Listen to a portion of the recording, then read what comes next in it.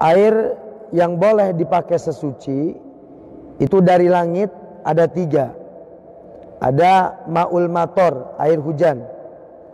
Ada ma'ul salji, air salju. Da, air salju itu air yang dari atas cair namun begitu sampai bawah menjadi keras.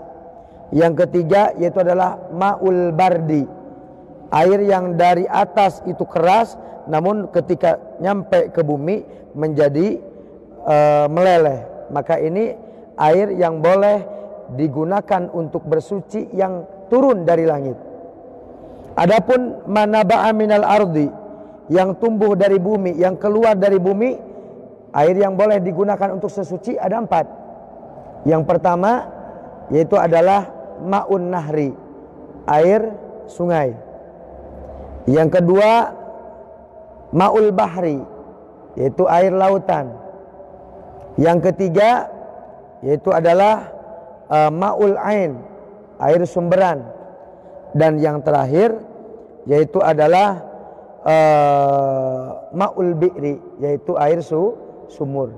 Jadi air sumur, air lautan, air sungai dan juga air sumberan ini adalah air-air yang keluar dari bumi yang boleh digunakan untuk bersuci. Jadi jumlahnya macam air yang bisa digunakan, untuk bersuci, untuk uh, menghilangkan hadas, baik hadas kecil maupun hadas besar, yaitu jumlahnya ada tuh, ada tujuh.